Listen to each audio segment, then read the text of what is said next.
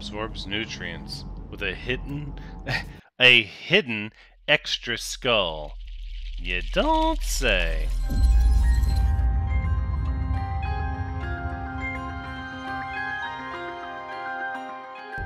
Hello, everyone. Thranxes here, and welcome back to No Man's Sky. Where we're not going to look at that. Actually, I've been I've been working on it a little bit, and oh my goodness, that's we're going to have to have an entire discussion about what it means to have a base design in mind that uh, does not adhere to a limit that is placed on you by the game that you did not know about when you planned a base. But that is a discussion for another episode because we're taking a break from that yet again.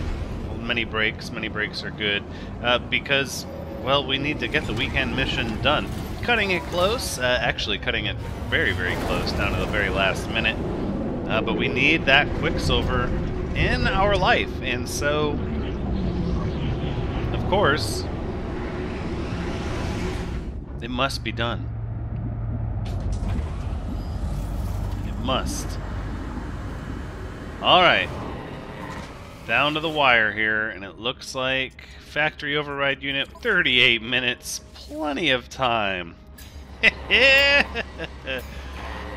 We're not even going to talk to any fellow travelers. We're just going to depart.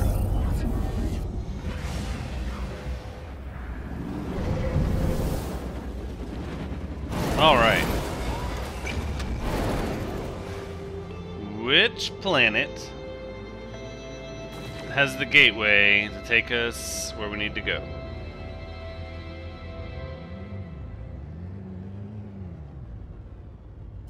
Don't see it. Uh oh, knowledge stones detected. Is it this planet? No, no, it is not. Boom. Oh, back to acidic tempests. Okay. I suppose we could have traveled to a different system. Then we might have been tempted to stray and explore.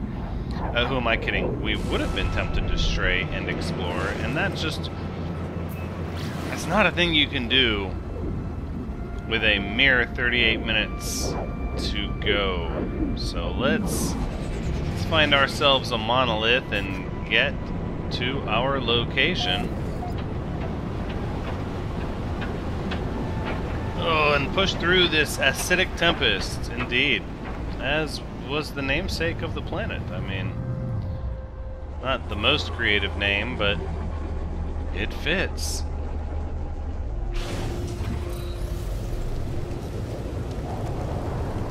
Okay, I don't really see any knowledge stones, so I think we'll go straight for the exocraft scan. The Azure Spark will lead us in the right direction. Monolith detected, and yeah, five minutes away. Ugh. That sounds like a job for our spaceship. I'm just calling it the spaceship, or my spaceship, our spaceship, because really it's, uh, it doesn't have a name yet. And I'm still on the fence with how I want to do it. But I also absolutely do not think it is important to come up with a name until it is upgraded. So we actually pulse jumped way past the monolith. You know what we're not doing enough of, though, our limited time? Getting our getting our our time in to look at the fire.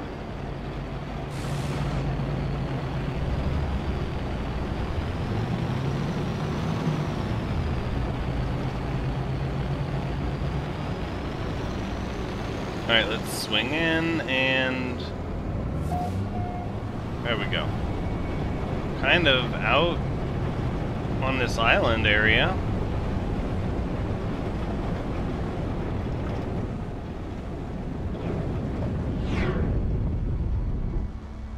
Oh, kind of a neat looking monolith, if I'm if I'm being completely honest. Very cool.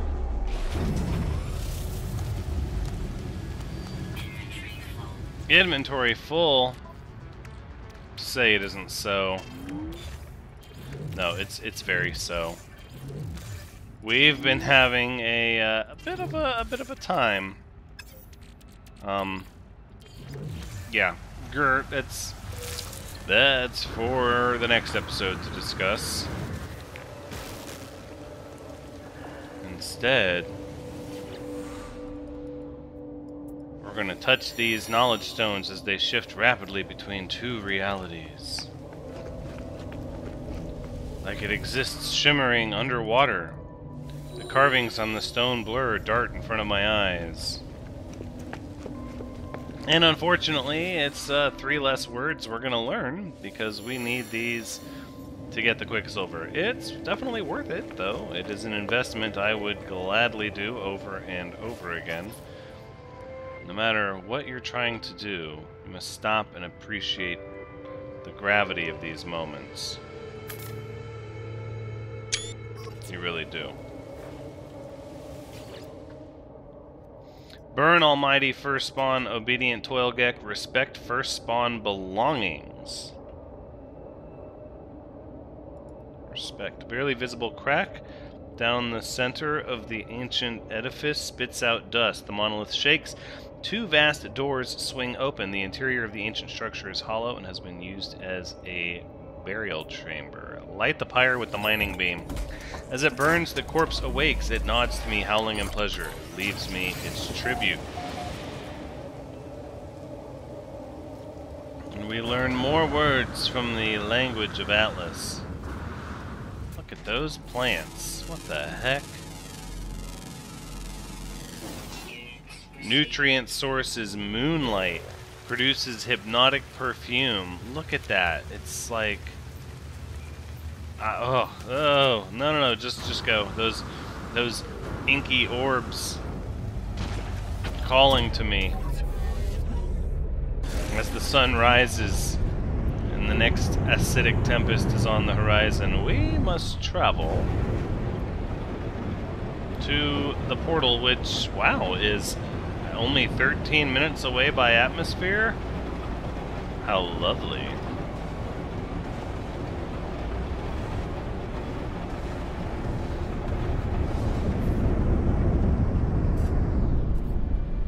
It's already lit up and active? What sorcery is this?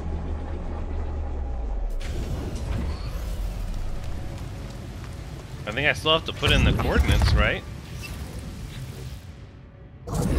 Monumental Gateway whispers to me. Yep, we're putting in the gateway. Re recycle yourself here.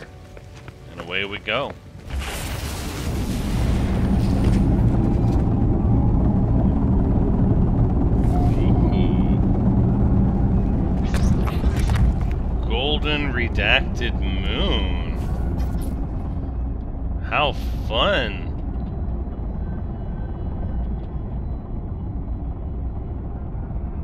Fun indeed. Look at the lights. I wonder what the nighttime sky is like here.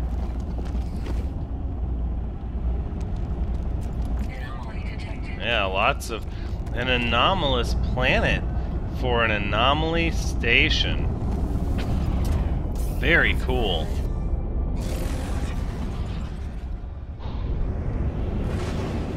So that means the building we'll be heading to, yes, is is a reality break. Oh, wow. So then is it going to be hexberries? Gosh, part of me does hope it's hexberries.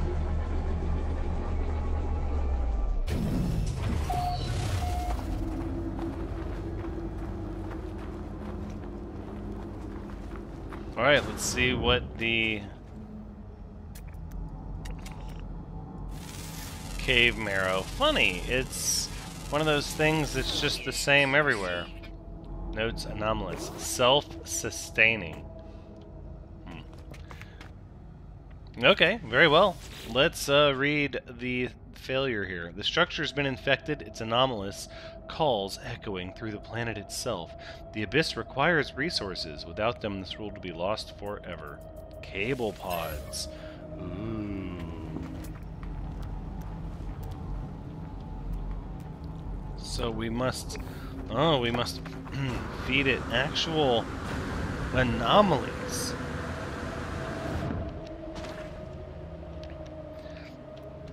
I'm not certain how I feel about that. That's going to, uh, I would dare say, take a little bit. 16 is a, a slight amount. Um,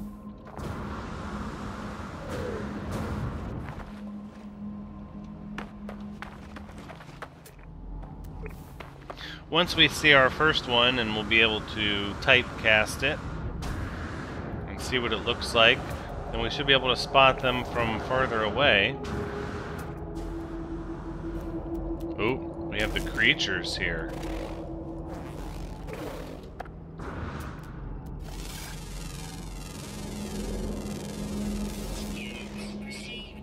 Absorbs nutrients with a hidden a hidden extra skull. You don't say. That looks like a cable pod right there with the with the non-standard lighting. What is it? This this teal sort of light. Yep. There's one. Okay. The game is afoot. I like the music here. I like the feel of this planet. For some reason, the gold really works.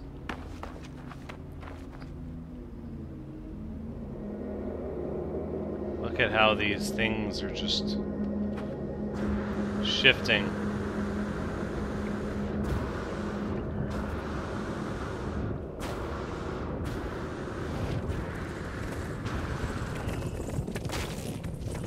Oh no, careful, careful. I don't want any trouble.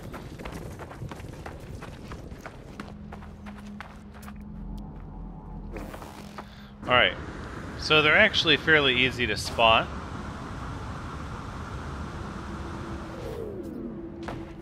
question merely becomes how frequently will we locate them. I believe I saw one over here in this area. Right, so even if you can't see their color, their shape is fairly the same. Um, let's see, we could... I don't think we can summon... Yeah, we can't summon a freighter here.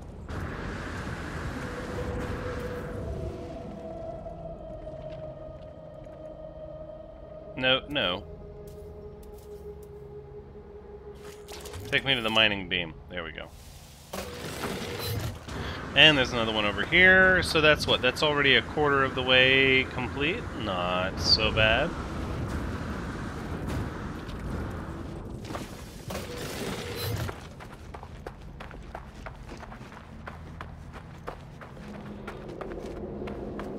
Oh my goodness. That that scene.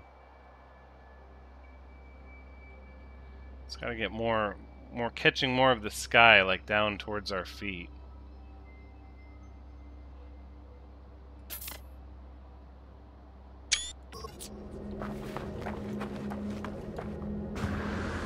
Okay, well, I'm a little disappointed though in the fact that uh, I really want to keep my my cable pods. But it's an easy decision. I mean, all you have to do is go, well, would I rather have 16 cable pods or 1200 Quicksilver? So, well, yeah, you know, when it when it's put like that, it's actually a very, very, very easy decision. Oh, look! Somebody's base, Voldrang. See a lot of their bases in these weekend missions. Very cool.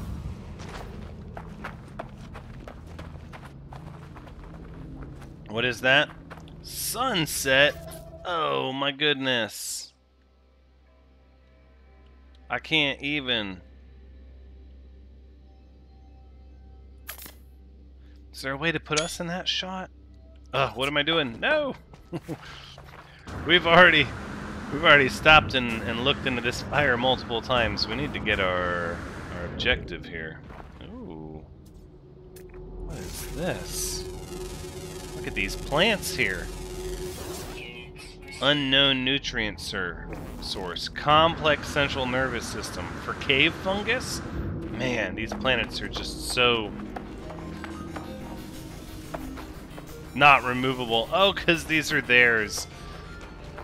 No! no! Dang it.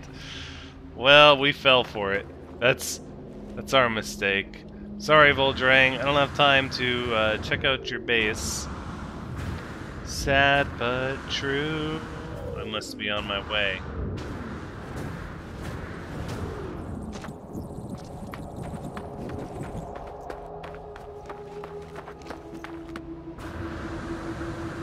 So we'll just continue. Ah, look at that. I see two more. Or at the very least, one more. Ooh, the lights. The teal coloring in the lights is more difficult to notice at distance. But, aha, uh -huh, yeah, see, this one was hiding. No, the shape is the biggest giveaway. The teal light is only visible as you get closer, it seems like.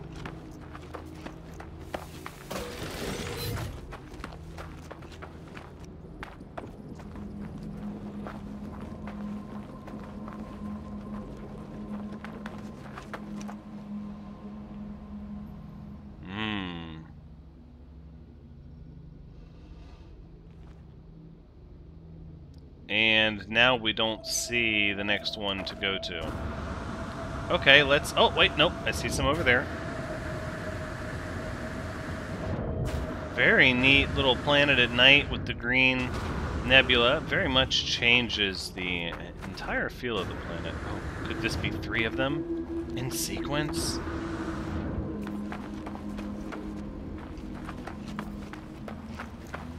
I'm a fan.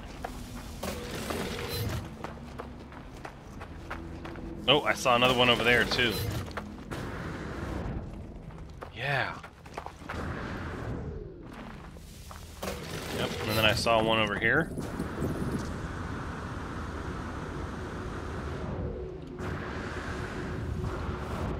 Puts us at 11. Oh, wow. And the progress was made.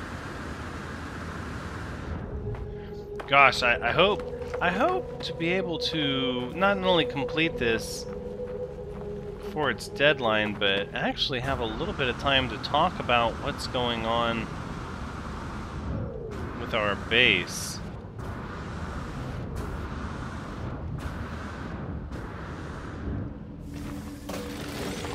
I suppose we could have a little bit of that discussion now, but but here we are in this really cool planet, and we should give it its we should give it our attention.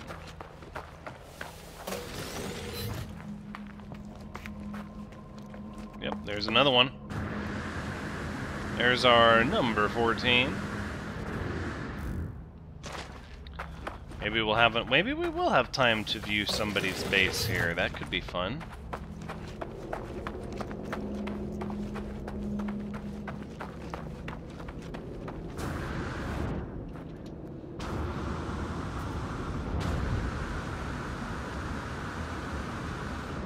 go. Number 15.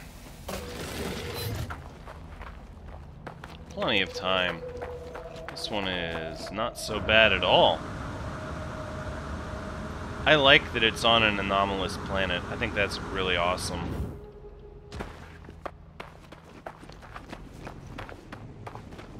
Sometimes those mega exotics can be well, I, I, I, like mega. I'll put it this way: I like mega exotic planets most of the time. Uh, my issue with them comes only when uh, they they get those monochromatic planets, and even those are pretty cool some of the time. Until you get, you know, we had those. It was like two two in a row. I think maybe even three in a row. We had the monochromatic planets. It was like, oof.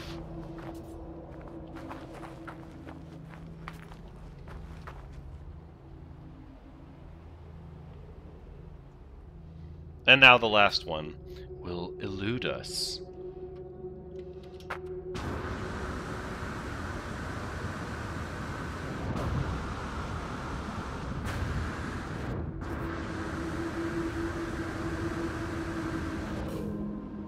Bound to be over here somewhere.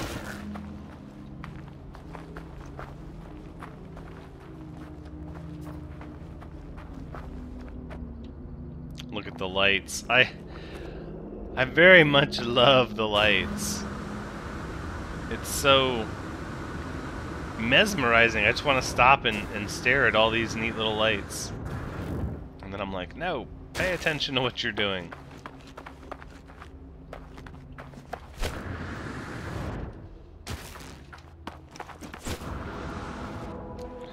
Alright. This is the final, the final one, the final countdown, if you will.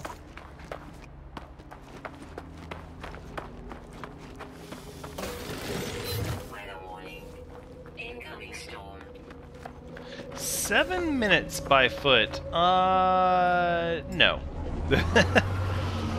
no, no, no, no, no, none of that. No, no, no. No drinks for me. Alright, let's go and get over here. Stop it! Oof. I did not mean to to just destroy our item there. And I think it's interesting there's a storm. Storms on anomalous planets are a little different. That's not a thing I see normally. And the storm is what? A slight drop in temperature, a little bit of dust. Our hazard, uh, our hazard shielding really isn't dropping at all. How interesting. It's like, oh no, look out, it's a storm. It's minus 10 Celsius. Oh, look out, it's so cold. Alright, we will heal this structure. I do my duty. The corruption fades. I hear its voice. I feel its feelings. Feel malice, hatred, despair, all of it directed only against its own self. I see memories of water. Yay! Very good. Alright, now we're just a quick hop and a skip and a jump back to our portal. Where is... Ah ha ha ha ha! The storm is clearing. The horrible minus minus 10, 10 below zero. It was a it was a hateful blizzard.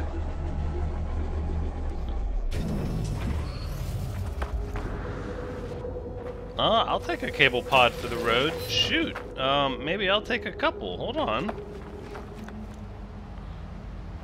Okay, no, maybe I'll just take the one. That's fair.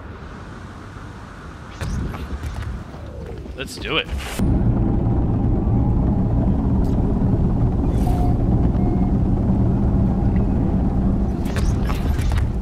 Ah. Look at that. So much time to spare. And look at that. That green nebula on this acidic planet is pretty... pretty ominous. Pretty ominous. I do like how that looks.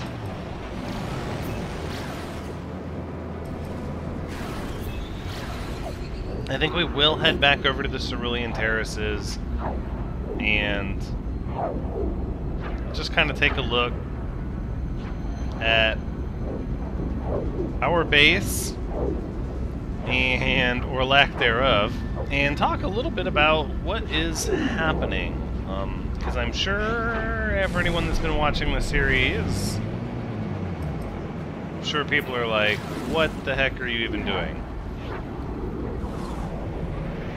And really it uh, it all stems from I, don't even want to throw rocks at the game, but I kind of have to to take the heat off of me in that it's it's not me.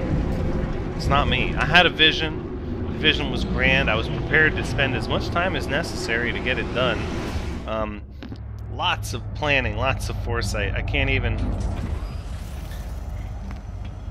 can't even begin to convey. And then, of course, obviously not enough planning because one of the simplest things, such as a limitation, um, was not being observed. Hey, there's our Quicksilver. And our factory over override unit. Sure thing. Let's send that to the freighter. Gek relic? Uh, no thank you. Are we gonna spend the Quicksilver? No, I don't think we will. Not at this time.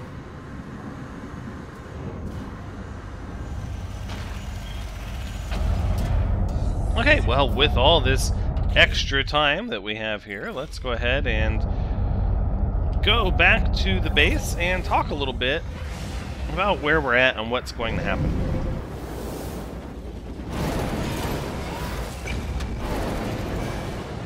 Perhaps part of what I've been falling into, the trap as it was, is that I wanted to keep most of the work I had done. Now, maybe that's because I wanted my time to be uh, relevant.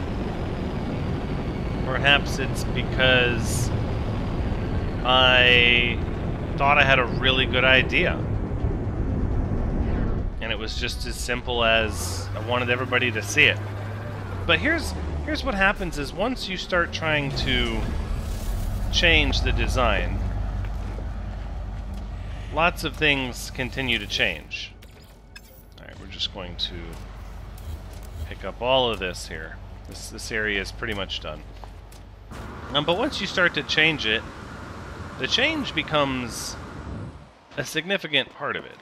Okay, as you can see, we've already expanded the highway to 3, but the change also inevitably takes away from it.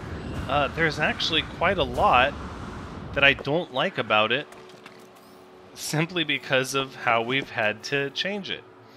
So part of what's getting me is this profile. I mean, come on. It's now this isn't finished. This isn't finished by any means. Um, but but again, the profile is square. Let's just be honest, it's square. And while that would change a little bit up top, uh, not enough. Not enough. It's also not as large as I thought. It feels more like a box instead of a grand mono uh, monument, which is what I was going for. And then you've also got this uh, this underside here. You see, this underside is also not what I had originally had in mind. Compromises, compromises on all fronts, and I just I don't I don't know how to handle it. I don't know how to accept these terms. In fact, I want to reject them. And I want to reject them so bad that I think what we're going to do is we're just going to, gosh, scrap it, right? Like, we're just going to start just tearing it down. And of course, I'm not going to do it all right now, but effectively what we're trying to do, let me, let me stop mincing words um, is we're trying to. I believe the I believe the phrase is, and uh, you know, correct me if I'm wrong. Uh, we're trying to cram um, approximately um, 10, um, 10 cubic kilograms of excrement into a container that can only hold about 5 cubic kilograms. So, so basically, the more we, we change the design, the less the design is true to what it originally was and becomes sort of a a not not pleasant hybridization and uh, and loses all of its uh, appeal. So aside from trying to keep it to say, well, I came up with this design and I want to make it work, it doesn't even look the same as it was originally planned. It's it's, you know, and how many times do you compromise on your creation, on something that you're spending all this time going, you know, is is 10% of a compromise acceptable? We all compromise. We all give to get what we want, right? Dr. Mordin Solus? I mean, but but how much? Is 50% compromise appropriate? This is our our masterpiece. Is 30% even okay? What if what if this was starting to compromise so much that by the end of it I wouldn't recognize it? What if it just becomes a slapdash cram the cram the excrement into the container and make it fit sort of situation instead of rethinking everything not not rethinking how do we make how do we how do we cram uh, all this you know 10 10 cubic kilograms how do how do we fit it in the container no but just how do we just get rid of it i feel fairly certain i feel fairly certain there will be a time maybe not in this game but at some point where we'll be able to use this design. And I've already saved it and all its dimensions and everything. I, I, have I have the all the planning that I did. That that work isn't gone, and it's a great design. But what what it what it needs to do is it needs to happen on a game that's going to facilitate that level of construction, that level of grandeur. And as much as I want to believe that this is that game, it's not. It's really not. Um, because of the limitations inherent.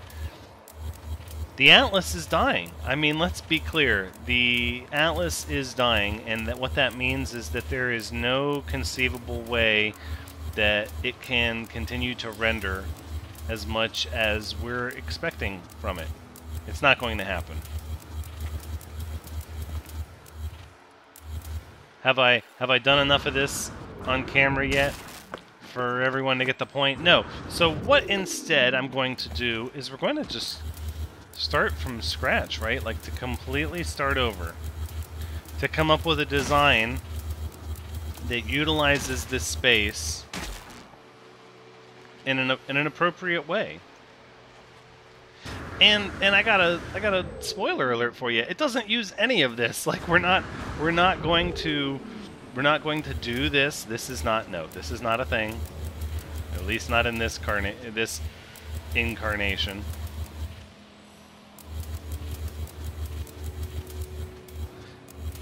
We're, we're not losing our resources. I I'm so I'm so over it.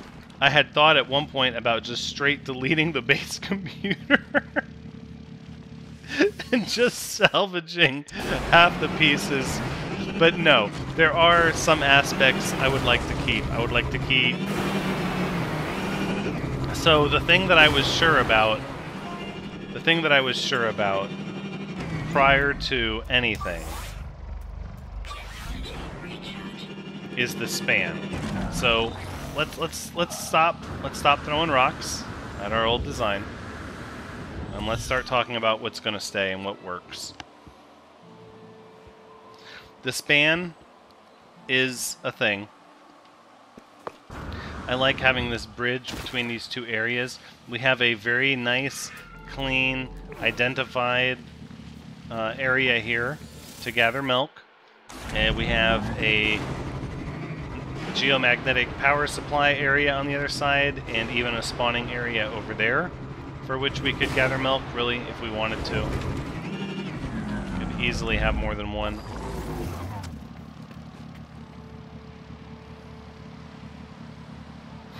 The truth of the matter is...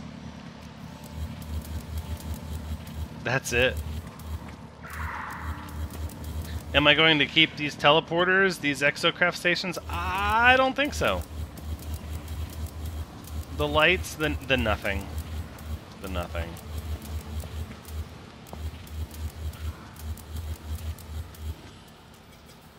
And that's okay as as we've said in the past, knowing knowing when to fold them is actually a very important part of this process. There's only so much you can do and plan for, and even then you'll never get it right. The base limit is probably something you could argue I should have been aware of. I should have taken it into account in my planning. But we're not there yet. That's time travel, and the truth of the matter is, I didn't know. I had never pushed myself to build to this magnitude in the game before, and so with that, it doesn't matter if I should have, could have, would have, I did not. And so what we must now deal with is the reality of that.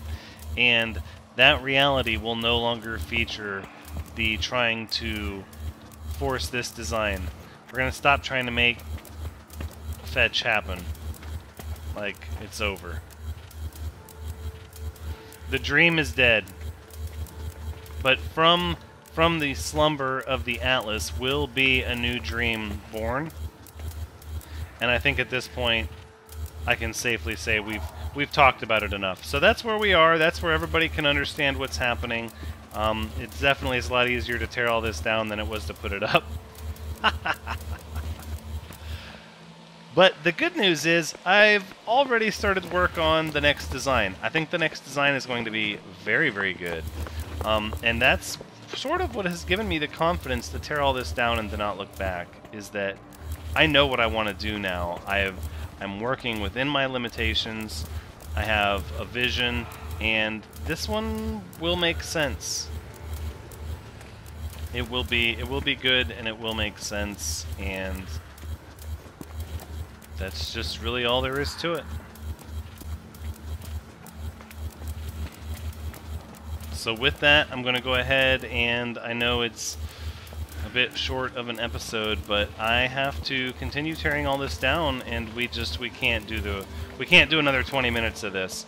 So, I'm going to go ahead and say that in the next episode we'll get some honest to goodness work done with the new design. But until then, take care.